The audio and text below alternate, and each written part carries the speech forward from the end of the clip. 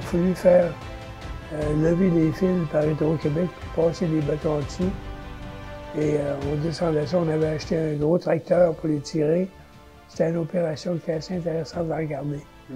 Et rendu, rendu dans les fonds, on avait été obligé d'acheter un terrain pour faire tourner le, le, la remorque, parce que pour qu'elle ne peut pas tourner bien, bien carré.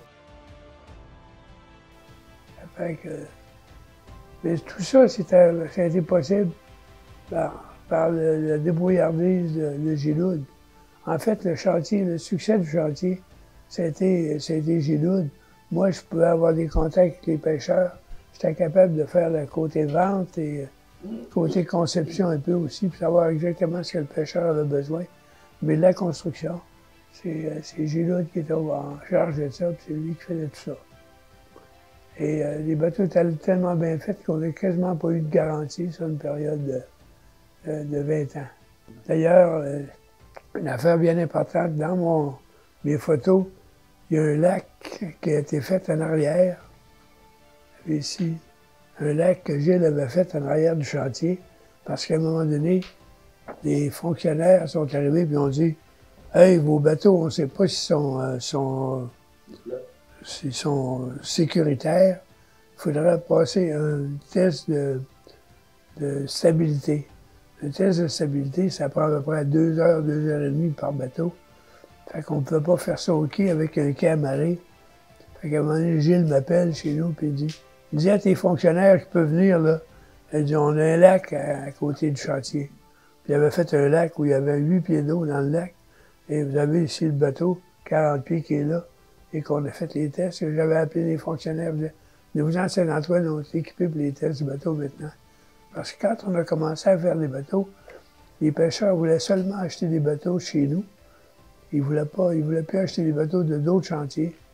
Ça fait que, en Gaspésie, ils pensaient tous qu'on était de- en, quasiment en affaire avec Garon, qui était ministre des Pêches à ce moment-là. Euh, la première année qu'on a commencé à lever les 40 pieds, il me semble qu'on a fait à peu près 12-13 000 piastres de profit. La deuxième année où on a développé le 55 pieds, les premiers mois, et il ne faut pas oublier que les années, années so- so- 70, au début des années 70, c'est que le taux d'intérêt était à 22% Donc, on a fait une perte de 300 000 piastres. Et, euh, c'est- C'est à ce moment-là qu'on a été chercher du capital de M. Baudouin est embarqué. M. Baudouin, quand il était euh, chez, Bombardier, il venait à Québec, il venait à Québec, puis, il passait toujours au chantier. Puis il disait, j'embarquerai avec toi, moi, j'embarquerai avec toi n'importe quand. Je disais, Laurent, quand tu mets des, euh, poissons dans l'aquarium, faut que tu les mettes de la même grosseur, sans ça, les gros mangent les petits.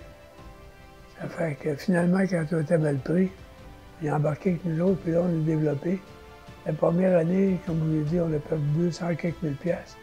Et les années d'après, on a refait le 200 000, puis après ça, on a fait pendant plusieurs années un million de profits après impôt pendant huit ans. Donc, au niveau commercial, ça a été un succès, tant, pour la construction des bateaux que pour le rendement financier.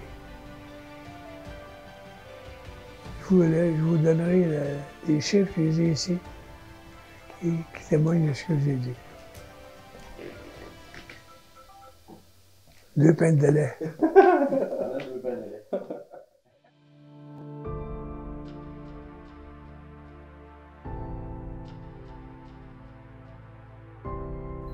AMT, c'est réellement une belle histoire.